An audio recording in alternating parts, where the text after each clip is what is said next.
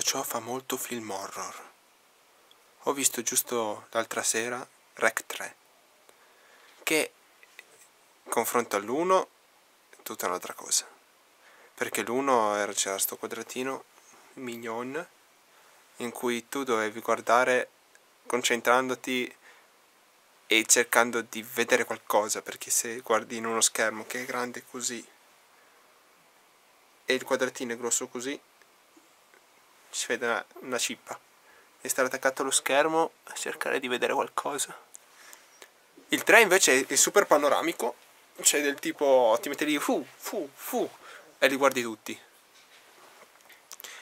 In più è molto più attivo, molto più carico, ci sono questi zombie, o credo che siano zombie, comunque sono malati, che iniziano ad attaccare tutti quanti e specialmente la coppia di innamorati no, ma mm, non voglio anticiparvi niente nel caso non l'aveste ancora visto.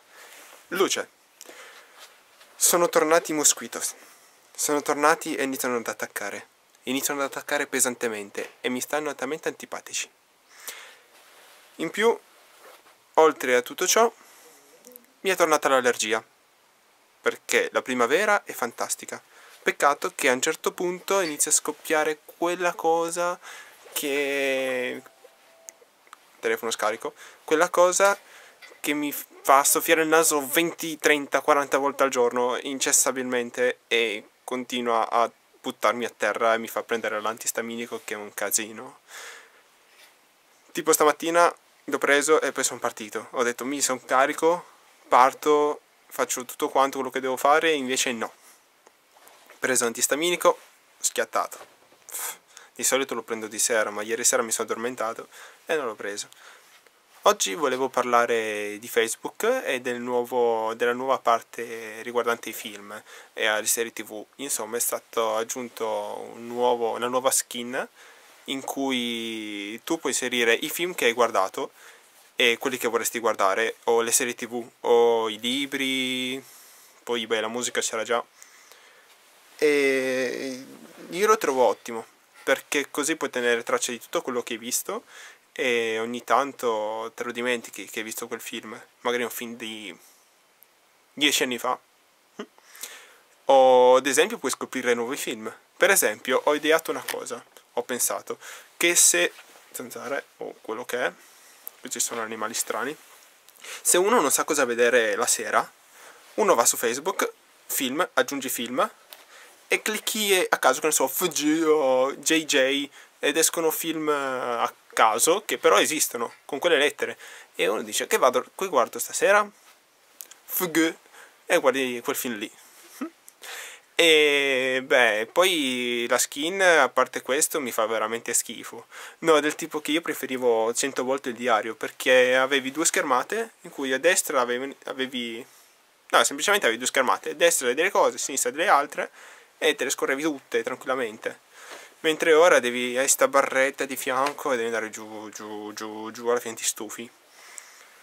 Però c'è anche da dire che sul lato sinistro puoi vedere queste cose come i film, serie tv, cose che ti piacciono, altri collegamenti che fai con applicazioni o che altro, che quello è ottimo. Però a un certo punto dovrebbero finire e iniziare le due colonnine, a mio parere.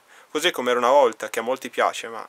Mm, io lo trovo un po' macchinoso perché uno deve sempre andare giù tra tran tran penso che se tornasse il diario sarebbe una bella cosa.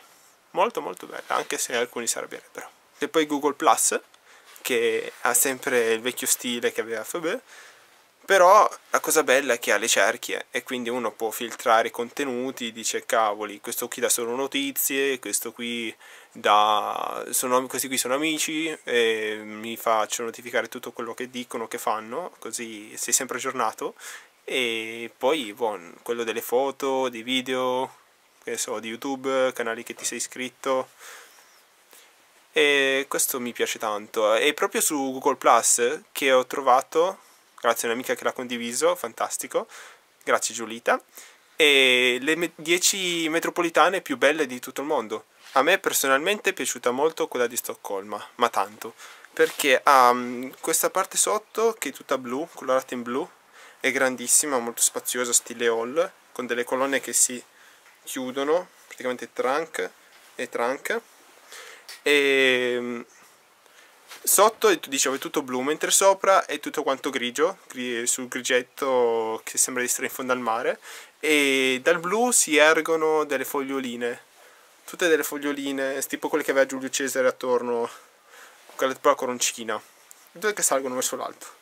E sono molto belle. Poi ce ne sono altre, come una con un arcobaleno, altre più sul moderno, con dei disegni.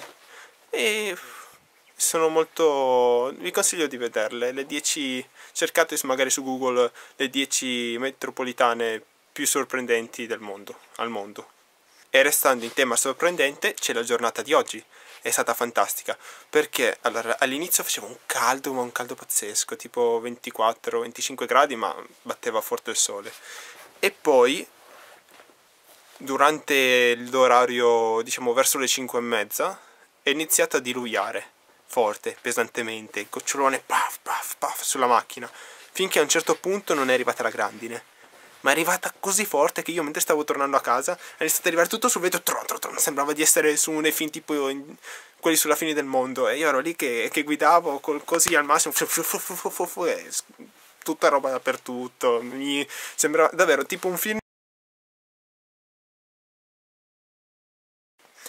Camera scarica ho dovuto cambiare la batteria dicevo che sembra di essere in quel film in cui arriva la fine del mondo, adesso non mi ricordo il titolo, però ce n'era uno in cui pioveva grandine gigantesca tipo su Tokyo o su una città giapponese, era in Giappone, c'era sto qua che era lì. E gli telefona al padre e gli dice guarda che qua piovono, piove il ghiaccio, piovono proprio massi di ghiaccio. E no ma è stato fortissimo. Poi dopo tutto ciò dopo che sono arrivato a casa sano e salvo fortunatamente e ha iniziato a calmarsi pochettino un pochettino finché è tornato il sole. Da qui mi è venuto in mente caspita proprio la quiete dopo la tempesta e, ed è proprio bella mi piace perché poi c'è quell'arietta fresca c'è mm, quella, quel sole un po' pallido però è bello mi piace molto è rilassante tantissimo. E uno si mette la giacchetta o la felpina e sta fuori così a guardare la natura, il bello. Questo mi fa anche pensare a tante cose, del tipo che una volta ero a scuola, adesso non ci sono più. E ho degli amici, anzi ce n'è uno in particolare, che ha iniziato a fare supplenza a scuola. E questo mi fa un po' effetto perché cioè, adesso addirittura una volta se gli insegnanti fanno, dici, ah, quei noiosissimi, eh, quello lì antipatico, e poi che metti i voti brutti, eh, eccetera. E poi un tuo amico inizia a insegnare. e lì dici, caspita. E pensi alla loro vita, perché anche gli insegnanti comunque hanno una vita, anche se agli studenti non piace pensarlo, che loro possono fare tante altre cose. E, ehm, e questo diciamo che do, la, nella quiete dopo la tempesta ti, ti, vengono in mente queste cosine qua. E sì, beh, lui fa supplenza soltanto, non è ancora insegnante, spero che lo diventi presto, ma non lo è ancora. E, e mi piace, mi piace come cosa comunque, fa simpatica. E beh, poi sì, mentre, mentre accadeva tutto ciò, ho anche preso un po' di yogurt e ci ho messo i cereali yogurt bianco, ci ho messo i cereali in polvere e poi ci ho messo i cereali quelli grossi, in modo tipo quando compri lo yogurt già fatto con, che ne so, la fragola, con i pezzettini di fragola. E io ho fatto uguale con i cereali ed è una cosa buonissima. Non so se voi mettete mai cereali dentro allo yogurt, ma è fantastico. Ve lo consiglio. E consiglio anche lo yogurt bianco, perché ci puoi mettere quello che vuoi. Se vuoi ci tagliuzzi una mela, ci metti non so, della pesca, delle pesche, ci metti quello che vuoi, unisci due frutti. Due frutti, mi piacerebbe un giorno metterci l'avocado, perché non so se l'avete mai assaggiato, è uno dei migliori frutti, in quanto l'ho detto tre volte frutti, ma non importa, non fateci caso, in cui, uno dei migliori in cui c'è il colesterolo buono, che adesso non mi ricordo il termine tecnico, me lo dimentico sempre, tutte le volte lo vado poi a cercare e il, lo colesterolo buono che elimina quello cattivo che sarebbe quello del tipo del burro che fa malissimo e che dovresti averne il meno possibile che però è quello che si trova più in noi perché consumiamo più alimenti del genere purtroppo. E ehm, quindi consiglio a tutti quanti, anche se sono pochi, ad apprezzare questa tipologia di frutto perché ha un sapore che quasi non si sente, perché è molto pesante, tu ne mangi uno è come mangiare tipo una ventina di mele, perché è pienissimo, proprio è carico, e uno volendo può mangiare solo quello e poi non fare più pranzo, magari, beh magari pranzo no, però può non far più cena, mangia per cena un avocado e è a posto per tutta quanta la sera. A me è successo almeno, forse perché avevo fatto un pranzo pesante, non lo so, però era molto molto molto carico. In più ci puoi fare ci puoi fare dei mix, eh, lo usano al giapponese. Adesso non mi ricordo la pietanza come si chiama, però viene una cosa molto buona.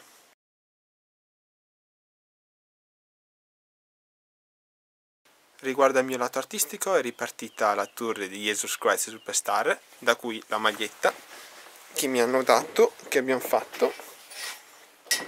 Questa qui. I, i, i.